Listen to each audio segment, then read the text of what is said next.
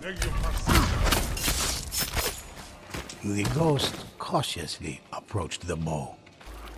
Wield my bow once more to rid the area of evil